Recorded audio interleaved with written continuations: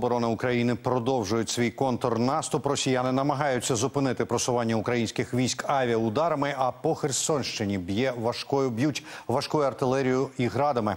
Детальніше про ситуацію на південному напрямі поговоримо з Олександром Войтком, військовослужбовцем збройних сил України. Пане Олександре, вітаю вас! Слава Україні! Доброго ранку, вітаю вас з героям слава. Пане Олександре, яка загалом ситуація на запорізькому напрямі? Е, Тривають напружені бої в районі П'ятихаток, в районі Роботиного. Е, Збройні сили здійснюють штурмові дії. Наші підрозділи йдуть вперед, кілометром за кілометр за кілометром відсувають російських окупантів. Хоча ворог чинить значний спротив на цьому напрямку, але зазнає значних втрат в живій силі і в техніці, і змушений відходити, здавати позицію за позицією. Пане Олександре, ворог продовжує утримувати ЗАЕС. Чи відомо щось е, щодо подій, ситуації на станції? Взагалі, будь-яка інформація?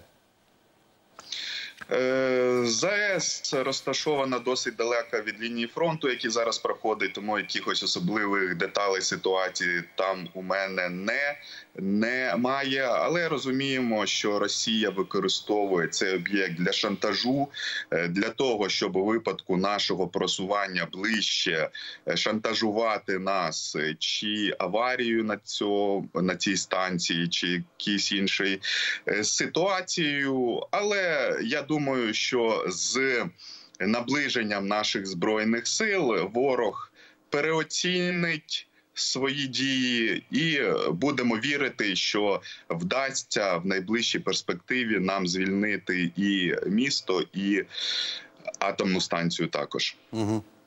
Ну і звісно, не дай Бог, ворог додумається щось влаштувати там. Але на такий момент наші бійці готові. На такий момент наші бійці готові, але звичайно цього б не хотілося, тому що ми розуміємо, така аварія це дуже серйозна катастрофа. Будемо сподіватися, що якісь залишки здорового глузду російських окупантів залишаються, і вони на це не підуть. Угу. Абсолютно точно. Скажіть, будь ласка, ще от минулого тижня ви в ефірі одного з телеканалів заявили, цитую. Приютне Старомайорське це важлива захисна лінія російських окупантів. Наші підрозділи намагаються її прорвати, намагаються звільнити ці населені пункти, щоб мати можливість далі рухатися на південь. І от це кінець цитати. І от Старомайорське наше. Розкажіть, будь ласка, які це перспективи відкриває для наших сил оборони? Е, Відкриває декілька перспективних напрямів. Зараз уже на флангах приютному, яке західніше, і в Новодонецькому, яке східніше, російські окупанти опинилися в складній ситуації. Їм потрібно або відходити із цих населених пунктів під тиском наших підрозділів, або зазнавати там все більших втрат. Е, Також е, є напрям просування далі південніше, в напрям селища Завітне Бажання. Тобто, зі звільненням цього населеного пункту відкрилося декілька перспективних напрямків для збройних сил. Я думаю, найближчим часом вони будуть реалізовані. Угу. Ну і ще маю питання щодо Старомайорського. От є інформація про унікальність операції через високу щільність мінування. А наскільки сильно були заміновані території? Як це впливає на хід контрнаступу взагалі? Е, Була там і висока щільність мінування, і сам населений пункт був е, перетворений фактично в одну захисну позицію. Е, Але нашим підрозділам вдалося його звільнити. Детали я б не хотів повідомляти, як проводиться розмінування, щоб не наштовхувати наших ворогів на певні думки. Але розмінування проводиться. Звичайно, що збройні сили свої підрозділи не посилають на мінні поля. Проводиться комплекс заходів перед штурмовими діями із розмінування, із враженням артилерією е, ворожих позицій. Тоді вже відбуваються штурмові дії. Загалом ця місцевість дуже щільно замінована. Це звичайно сповільнює темп. Е, Нашого контрнаступу, але у нас немає іншого виходу, як звільняти наші території аж до кордонів 91-го року. Тому просування буде відбуватися, але в такому комплексі дії, в яке входить розмінування, також. Угу. Ну і в зв'язку з цим питання логічне: чи вистачає сили засобів для швидкого розмінування? Чого потребуєте? Е, Тут е, є два фактори: сили і засоби для розмінування є, але військам, звичайно, завжди треба більше всіх засобів, всіх боєприпасів. Ось е, є засоби, але ми розуміємо, якщо їх буде більше, то темпи просування будуть швидшими. Е, Тому тут також така ситуація, що певним чином ми забезпечені, е, робота проводиться, але якщо засобів буде більше, швидше можна буде звільняти наші території. І дозвольте мені, е, ну, якщо можна, е, таке питання про вашу особисту думку. Справа в тім, що існує позиція чи там думка, ідея, її зокрема висловлював президент 6 липня, наприклад, про те, що затягування поставок зброї нашими західними партнерами дало ворогу якраз можливість укріпити позиції, зокрема замінувати території. Чи це співпадає з вашим, ну що називається, безпосереднім баченням ситуації? Е, Питання комплексне. Ми розуміємо, що наступати не можна постійно.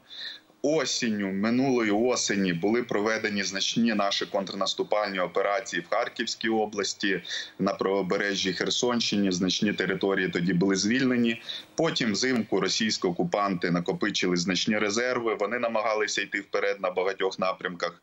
Ми перебували в захисті. Тепер е, ми можемо е, наступати. Звичайно, що за цей період, коли ворог мав можливість е, проводити наступальні дії взимку, вони змогли підготувати наші позиції. Е, Щодо західної зброї, тут також ми розуміємо, що якщо така кількість західної зброї, як зараз, в нас була до 24 лютого, то можливо б Росія не пішла на широкомасштабне вторгнення. Ми розуміємо, якщо б захід нам давав швидше танки, бронетехніку, якщо б уже нас були західні літаки і більше далекобійних ракет, то ворог зараз був би в набагато складнішому становищі, і набагато більше наших територій було б звільнені на цей час. Тому ми звичайно дякуємо західним країнам за підтримку. Е, Без їхньої зброї нам би було б дуже складно, але вони також мають розуміти, що Україна зараз е, передовий форпост перед російською ордою. І чим більше і чим швидше вони будуть давати нам зброю, тим швидше в Європі запанує мир і спокійна ситуація встановиться. Ну і дуже зовсім коротко. А як вважаєте, чому е, процес передачі нам зброї такий складний і повільний? Вони бояться чогось? Є певні політичні моменти, економічні моменти в західних країнах. Є бюрократія, там також е, є значна кількість бюрократії. Це все повинні погодити їхні уряди, щоб е, нам передати. Е, я не думаю, що вони чогось бояться, але от. е, За рахунок всіх цих їхніх процедур, все таки ми живемо. Це ми живемо в стані війни. Вони живуть в стані миру і з такої перспективи дивляться на цю ситуацію. Тому у них довгий час це займає, але будемо вірити, що скоро нам нададуть більше зброї і більш сучасної зброї. Так, абсолютно будемо вірити. Пане Олександре, я вам дуже дякую за ваш коментар, за ваш час, ще більше за вашу службу. Будьте здорові, вдалого за можливості вам дня. От як ви його собі уявляєте? Дякую дуже вам. На все Дякую. добре. До побачення. Це Олександр Войтко, військовослужбовець Збройних сил України, був у нас на зв'язку.